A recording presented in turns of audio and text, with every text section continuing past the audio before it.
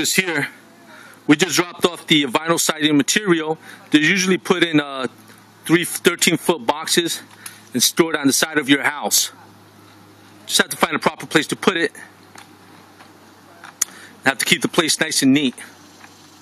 If you're looking for vinyl siding or other types of siding installation exteriors for your home, let us know. Call us 973 487 3704.